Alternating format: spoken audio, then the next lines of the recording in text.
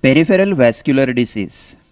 A case with peripheral vascular disease may present with a gangrene where cell death has already occurred or before that with an ischemic limb. If gangrene be present, then examine the gangrenous area first and then proceed to examine the ischemic limb. Now we begin our examination with the inspection of the affected limb. On inspection of the gangrenous area, it shows a dark discoloration and a shriveled up mummified appearance if it is a dry gangrene. Note the dry, shriveled up appearance of the dry gangrene of this right foot and leg. A wet gangrene, as seen in the fingers of the right hand, shows black discoloration, but the tissues are edematous and swollen, and there is no clear cut demarcation between the gangrenous and the normal limb.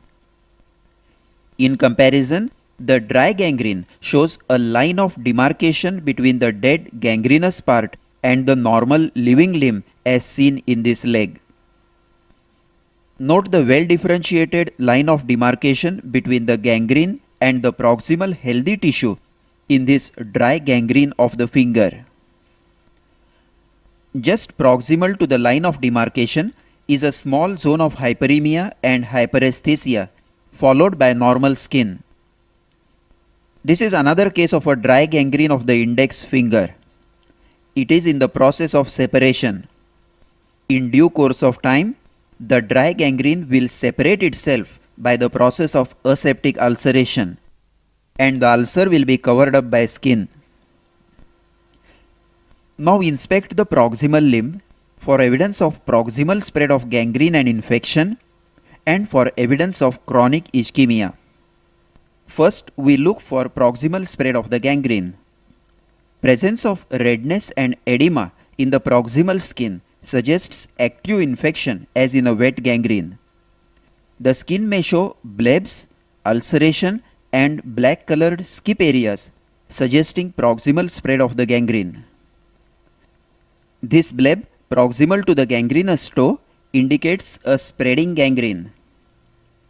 Redness edema and slough around the site of amputation of a gangrenous toe indicate infection and wet spreading gangrene. Note the black colored skip areas in the palm suggesting proximal spread of the gangrene. Skip areas are areas of blackening in the proximal limb independent from the gangrene. Next, we look for signs of chronic ischemia. Observe the skin color of the ischemic limb and compare it with the opposite normal side. Note the blackish dark discoloration in the right limb suggesting chronic ischemia. A marked pallor will indicate sudden arterial obstruction as in embolism or during Raynaud's phenomenon. Note the pale white appearance of the left hand in this case of left axillary artery embolism. A chronically ischemic limb looks pale and thin. The skin over the lower part of the leg and shin is thin and shiny with scanty hair. The leg is thin due to loss of subcutaneous fat and muscle wasting. The nails are brittle with transverse ridges. As the blood supply becomes critically less, the distal parts of the fingers and toes become darker in color and the tips of the fingers or toes may show ischemic or trophic ulcers. Once again, note the ischemic leg on the left side which is darker than the normal right leg and has a wasted shriveled up appearance. Now measure the limb girth with a measuring tape and compare it with the girth of the opposite limb at the same level to demonstrate and record limb wasting. The measurements are taken over the main muscle mass about 3 inches above and below the knee joint in the lower limbs and 2 inches above and below the elbow joint in the upper limbs. Now inspect the veins over the dorsum of the foot. If they are well filled in the lying down position, it indicates a fairly good circulation. But if they are collapsed and gutter like, then it is an indication of severe ischemia.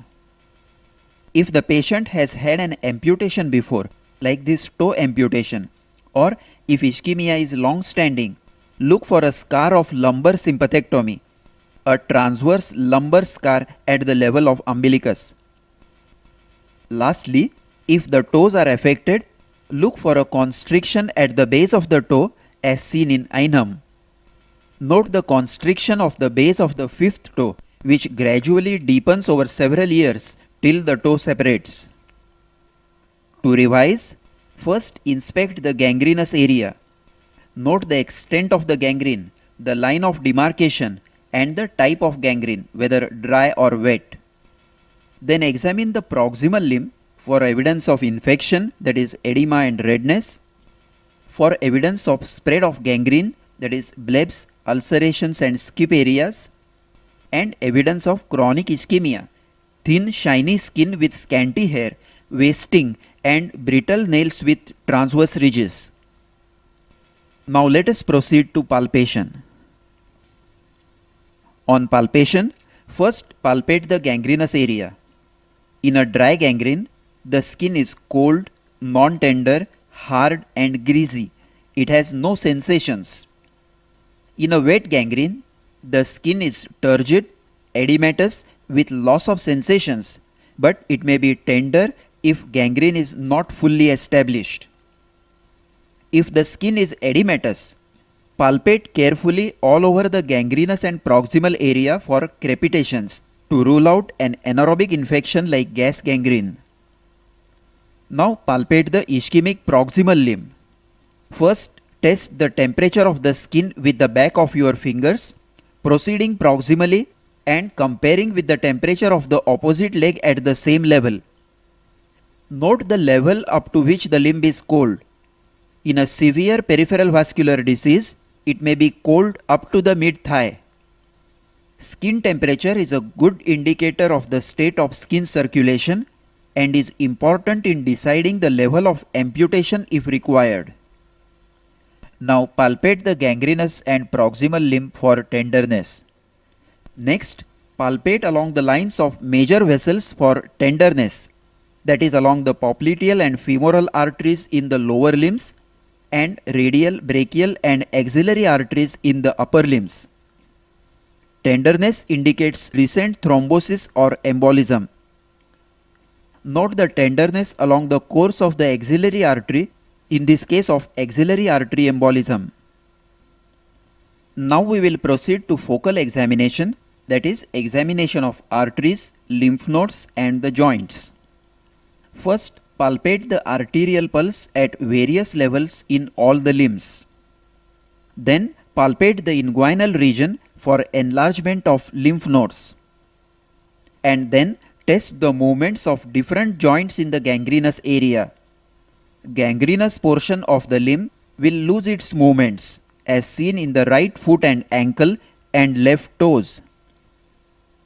Now we shall study in details the method of palpation of the pulsations of the arterial tree at various levels to note the state of arterial circulation. First, test the capillary circulation in the nails Blanch the nail by pressing its tip, release the pressure and note the time taken by the nail bed to turn pink again. It gives a rough idea of the rate of blood flow in the capillaries. Then palpate the dorsalis pedis artery at the proximal end of the first metatarsal space just lateral to the tendon of extensor hallucis longus against the navicular and middle cuneiform bones palpate the posterior tibial artery midway between medial malleolus and tendoachilles against the calcaneum, keeping the foot dorsiflexed and inverted. If dorsalis pedis and posterior tibial are well felt and normal, it implies that the proximal pulses are bound to be normal. Next, palpate the popliteal artery in the popliteal fossa against the upper end of tibia or lower end of femur. With the patient in supine position, keep the knee flexed to 135 degrees. Keep your thumbs over the tibial tuberosity and insinuate the fingertips in the lower part of the popliteal fossa, palpating from the lateral to medial side till the neurovascular bundle is felt. Now palpate the artery against the upper end of tibia. If not felt in this position, turn the patient prone, flex the knee to 90 degrees and palpate the artery in the midline in the upper part of the popliteal fossa against the lower end of femur. If the popliteal pulse is still not felt as it is a very difficult pulse to locate in obese patients, then perform the Fuchs test or crossed legs test. Fuchs test. Ask the patient to sit on the edge of the table and cross the affected leg so that the popliteal fossa rests on the opposite knee. Ask him to keep the leg fully relaxed. Divert his attention into talking something else and look for oscillatory movements of the hanging leg synchronous with the patient's pulse. Note the oscillations of the foot in this boy with gangrene due to electric burns who has a normal popliteal pulse. While in this patient of Buerger's disease, absence of oscillatory movements suggests that the popliteal artery pulsations are absent. The test is of great significance when femoral pulse is normal but dorsalis pedis and posterior tibial are not palpable because presence of these oscillatory movements is a definite indication of a good popliteal pulse. For the femoral artery, with the patient lying supine, keep the legs slightly abducted and externally rotated to relax the deep fascia and palpate in the line of mid-inguinal point just below the inguinal ligament. Femoral artery is felt against the head of femur. Then palpate the abdominal aorta to the left of the midline in epigastric and umbilical areas against the spine. Now palpate the pulsations in the opposite limb and then pulsations in the upper limbs from periphery to the neck. Let us now learn to palpate the pulsations in the upper limbs at various levels. Start at the nails to test the capillary circulation by pressing the nail tip till it blanches and noting the time taken by the nail bed to turn pink again.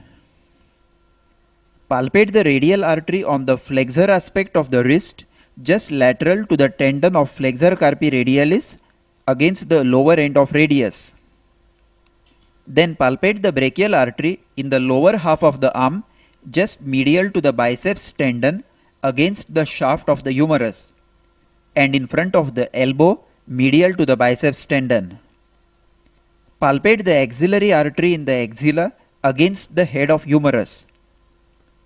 Palpate the subclavian artery in the supraclavicular fossa in midclavicular line against the first rib. Then palpate the common carotid artery against the Chassaignac's tubercle on the transverse process of six cervical vertebra between the upper portion of the trachea and sternomastoid. Other palpable arteries of course, they are not of significance in a case of peripheral vascular disease are superficial temporal artery and the facial artery. Superficial temporal artery is palpated in front of the tragus against the temporal bone and facial artery is felt against the lower border of the mandible at the anterior border of masseter muscle. Ask the patient to clench his teeth, palpate the masseter and identify its anterior border.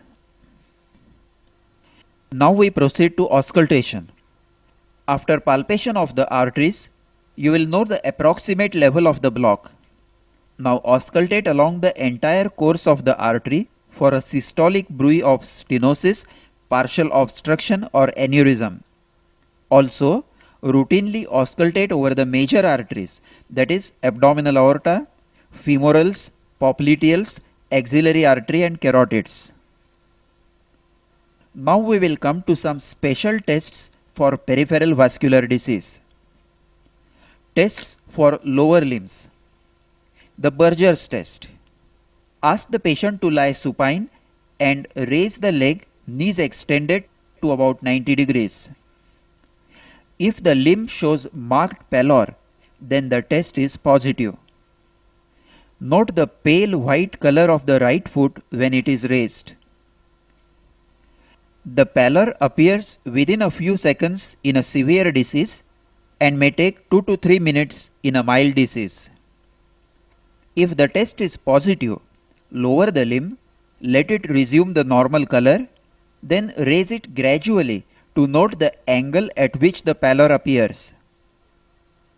This angle of the leg with the horizontal is termed as Buerger's angle of circulatory insufficiency. Buerger's angle less than 30 degrees is indicative of very severe ischemia. Note that in this patient, the pallor has appeared at an angle of 30 degrees. Now we will test the capillary filling time. With the patient supine, raise the legs till the affected leg becomes pale. Now ask the patient to sit on the edge of the examination table and hang the legs down. Note the time taken by the affected leg to resume its normal pink color. This is the capillary filling time and in peripheral vascular disease it may be prolonged to 15 to 30 seconds. Now let the patient sit with the legs hanging for 2 to 3 minutes. The leg will assume a purple red cyanotic color termed as dependent rubor indicating impaired circulation. A normal healthy limb will not show any change in color in raised as well as dependent position. Now we will come to some special tests for examination of chronic ischemia in the upper limbs. The Raynaud's phenomenon. If you are suspecting Raynaud's phenomenon, dip the fingers of both hands in ice cold water and watch for blanching or pallor of the fingers. If the fingers become blanched, take the hands out of the cold water. The fingers will become swollen and cyanosed, and gradually, as the spasm of the arteries wears off, they become red and engorged due to flow of blood in the dilated capillaries. Then perform the tests for thoracic outlet syndrome. Adson's test. With the patient sitting on a stool, feel the radial pulse of the affected hand. Ask the patient to turn the face as much as possible towards the affected side. Ask him to take a deep breath if the pulse becomes feeble or is obliterated, then the Adson's test is positive. The forced inspiration contracts the scalenus anterior, which is an accessory muscle of respiration which elevates the first rib and compresses the subclavian artery at the thoracic outlet. The test is also performed by asking the patient to turn the neck to the opposite side and to take a deep breath. And secondly, by keeping the arm extended and pulling it downwards, noting whether the pulse diminishes. Elevated arms stress test. Ask the patient to abduct the shoulders to 90 degrees with maximum possible external rotation, keeping elbows flexed at 90 degrees, thus raising the arms above the head. Now ask the patient to brace the shoulders back and open and close the fists slowly for a period of 3 minutes. If the patient's symptoms of radiating pain, cramps, paresthesia or Raynaud's phenomenon appear, forcing him to stop, then the test is considered as positive for thoracic outlet obstruction. A normal individual will only feel some fatigue in the forearm muscles. Lastly, we will perform the Allen's test for the degree of patency of radial and ulnar arteries. Ask the patient to clench his fists tightly. Now compress both radial and ulnar arteries at the wrist separately using both your hands. Ask the patient to clench and release the fist till blanching occurs. Now ask him to open the fist and release the radial artery. Note the time taken by the hand to regain the normal pink color. Then repeat the test and after blanching the hand, release the ulnar artery and note the time taken by the hand to regain normal color. If any of the arteries is blocked, the palm will remain blanched for a longer time when pressure over the blocked artery is released. To conclude, we started the examination of a case of ischemic limb with a careful inspection of the gangrene and the ischemic limb. Then we examined the arteries, lymph nodes and the movements. We palpated the arterial pulse at various levels and auscultated over it for a bruit. Lastly, we performed the special tests for peripheral vascular disease. In the lower limb, we performed the Buerger's test and capillary filling time. In the upper limb, Raynaud's phenomenon, Adson's test, elevated arms stress test and Allen's test. This completes the study of examination of a case of peripheral vascular disease.